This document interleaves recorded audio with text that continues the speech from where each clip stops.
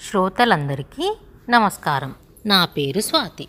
ఈరోజు చందమామ కథల నలభై రెండవ సంచిక డిసెంబర్ పంతొమ్మిది వందల యాభైలోని నాలుగవ కథ జయసాగరం. ఒకప్పుడు అస్సాం దేశాన్ని గదాపాని అనే రాజు పరిపాలించేవాడట రాణి జయమతి. ఆ దంపతులు తమ రాజ్యంలోని ప్రజలను కన్న బిడ్డల వల్ల చూసుకుంటూ ఉండటం వల్ల ప్రజలు గదాపాని పాలనలో ఎట్టి బాధలు లేక హాయిగా ఉంటున్నారు. అయితే రాజు అనగానే ఎంత మంచివానికైనా శత్రువు ఉండక తప్పదు. కనుక ఇంత మంచివాడనిపించుకుంటున్న గదాబానికి ఒక శత్రువు ఉన్నాడు. వాని పేరు లారారాజా. లాలారాజా ఒట్టి మూర్ఖుడు దుర్మార్గుడున్ను. అతను తన చేతిలో సైనిక బలం ఉన్నది కదా అని చీటికి మాటికి కాస్తంత లోకువగా కనపడే పొరుగురాజుల మీదకి దండెత్తుతూ ఉండేవాడు. అలానే తన మీదికి కూడా ఎప్పుడో ఒకప్పుడు దండెత్తి రావచ్చునని గదాపాని తలచకపోలేదు. మరికొద్ది కాలానికల్లా లారారాజా హఠాత్తుగా గదాపానిపైన దండెత్తి రాజ్యం లోపరుచుకున్నాడు. బలమున్నది కదా అని దండెత్తాడు. ఆశ కొద్దీ రాజ్యం లాక్కున్నాడే కానీ గదాపాని రాజ్యం లాక్కున్నప్పటి నుంచి లారారాజాకు మనశ్శాంతి లేకపోయింది. ఏమంటే లారారాజా క్షత్రియ వంశంలోని వాడు కాదు. అందుచేత అతని పరిపాలనకు ప్రజలు సమ్మతించరు. ఇప్పటి మట్టుకు తనకు గల అంగబలంతో అతను ప్రజలను అణచిపెట్టవచ్చు. అయినా త్వరలోనే తిరుగుబాటు రాకమానదని అతనికి తెలుసు. పైగా గదాపాని మంచితనము తన దుర్మార్గము రెంటికి గల తేడా రాజ్యంలోని ప్రజలు బాగా గ్రహించే ఉన్నారు. ఈ కారణాల చేత కొత్తగా తనకు రాజ్యం కలిసినప్పటికీ మనసుకి హాయి లేకపోయింది. అక్కడ గదాపాని రాజ్యం పోగానే భార్యతో సహా అడవులు పట్టిపోయి తల దాచుకొని చూశాడు.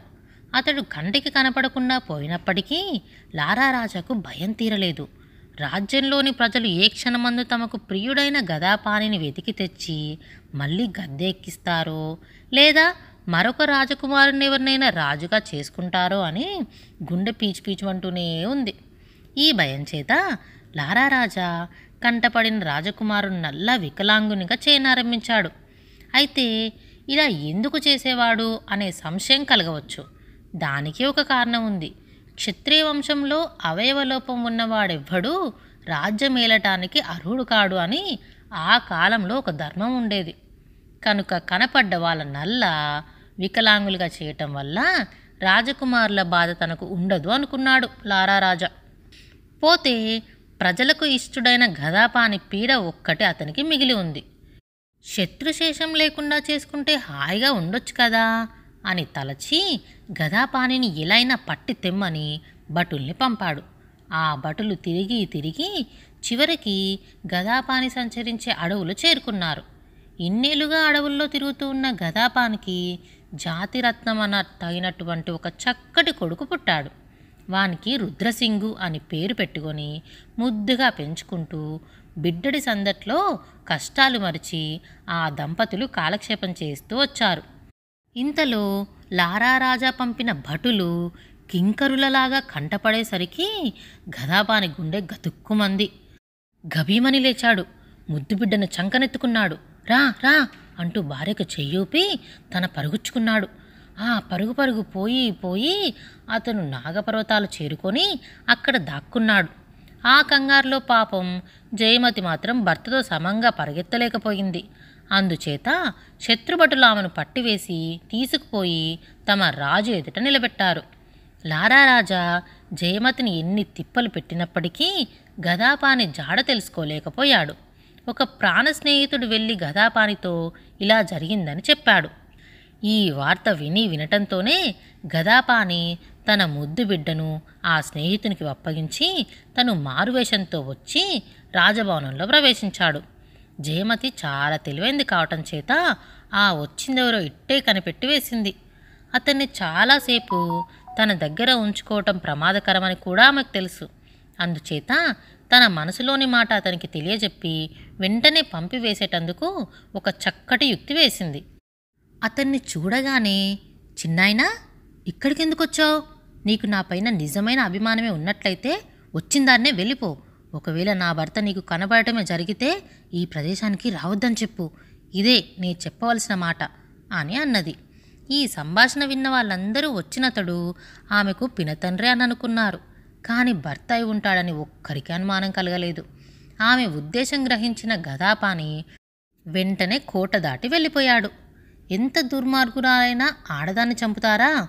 ఏదో కొంతకాలం నిర్బంధంలో ఉంచి వదిలేస్తారు కదా అని మనసులో తలచాడు గదాపాని. కానైతే విధి విలాసం మరొకలాగా ఉండే.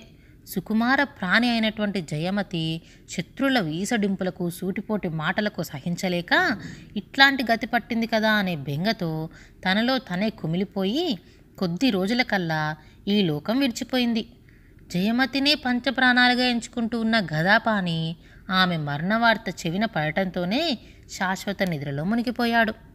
ఈ విధంగా ఆ పుణ్య దంపతులు కైలాసవాసులైనారన్న సంగతి తెలిసినప్పటి నుంచి ఇదంతా లారా రాజా వల్ల కదా జరిగిందనే కసి ఏర్పడి ప్రజ ఉద్రేకులై లారా రాజాపై పగ సాధించడానికి చూస్తూ ఉన్నారు.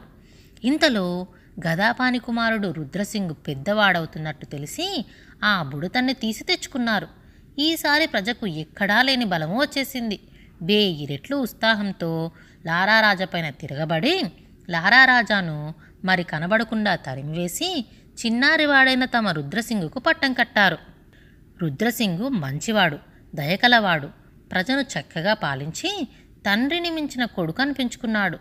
రుద్రసింగు తన జనని జ్ఞాపకార్థం శివసాగరానికి మూడు మైళ్ళ దూరంలో ఒక మనోహరమైన సరస్సు తవ్వించి దానికి జయసాగరం అని పేరు పెట్టాడు. అక్కడ జయదళం అనే గొప్ప దేవలము కూడా కట్టించాడు. ఈ రెండు చిహ్నములు ఇప్పటికీ అస్సాం దేశంలో స్పష్టంగా కనబడుతున్నాయి. ఈ కథ రాసిన వారు చిట్టిబాబు మద్రాసు. ఇలాంటి మరెన్నో కథలను వినాలంటే ఈ ఛానల్ని సబ్స్క్రైబ్ చేసుకోండి.